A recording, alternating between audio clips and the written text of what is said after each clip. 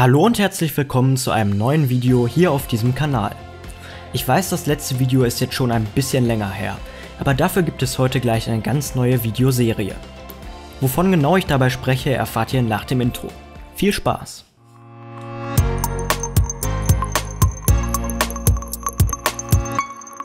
Schon seit einigen Jahren findet man auf YouTube verschiedene Serien, die sich mit dem Bau von Lego-Mocs beschäftigen. Meist zeigt ein Creator dort wöchentlich seinen Baufortschritt und die Community kann dabei aktiv Ideen beisteuern. Und die Tatsache, dass die Community von Anfang an das Projekt mitsteuern und nicht erst im Nachhinein Feedback geben kann, finde ich extrem interessant und deswegen möchte ich so ein ähnliches Prinzip auch für meine Animationen einführen.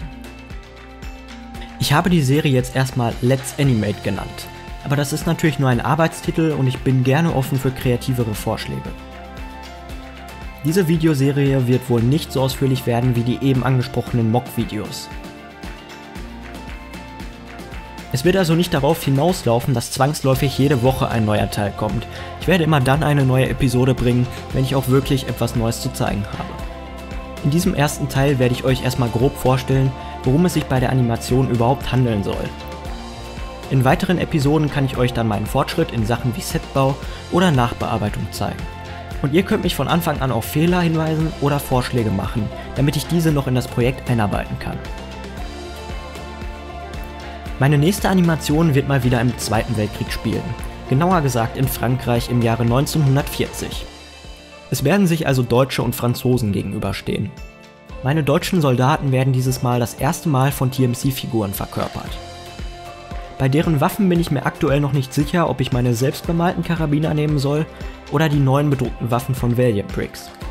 Schreibt mir gerne mal eure Meinung dazu. Ich sehe aber in diesen bedruckten Waffen sehr viel Potenzial für Animation.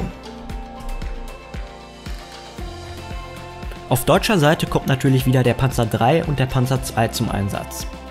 Leider verfüge ich, zumindest zum aktuellen Zeitpunkt, weder über einen Panzer 1 noch über einen grauen Panzer 4, die ich ebenfalls gut hätte einsetzen können.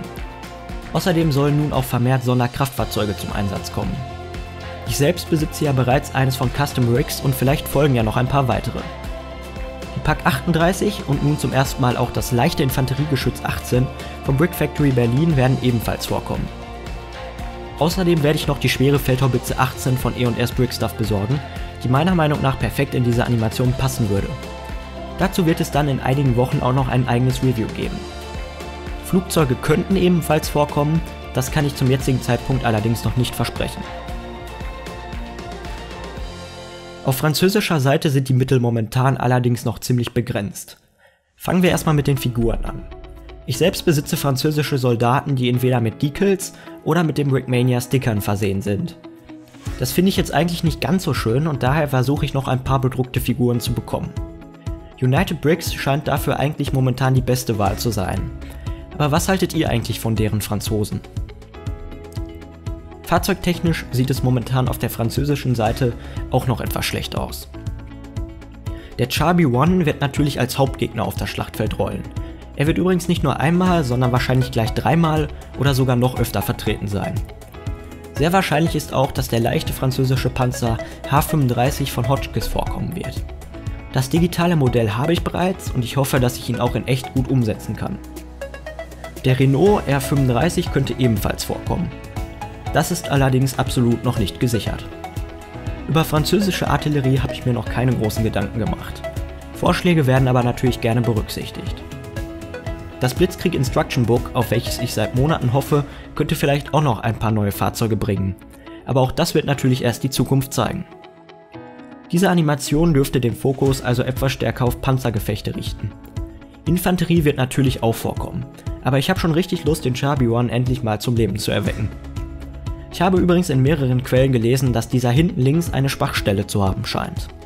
Andere Quellen stempeln dies allerdings als Mythos ab. Falls darüber jemand mehr weiß, kann er mich das auch gerne wissen lassen. Diese Animation ist in ihrer Vorbereitung deutlich komplexer als alles zuvor. Ich werde sehr viele Bricklink-Bestellungen tätigen müssen, um die benötigten Teile für die Panzer und auch für das Z zu besorgen. Zu diesem wird es übrigens auch ein paar Videos geben. Deswegen werde ich, während ich mich noch in der Vorbereitung befinde, an anderen Projekten weiter animieren. Es kann also durchaus sein, dass kleinere Animationen noch dazwischen geschoben werden. Falls ihr jetzt schon Vorschläge habt oder euch bereits Fehler meinerseits auffallen, gebt mir einfach Bescheid.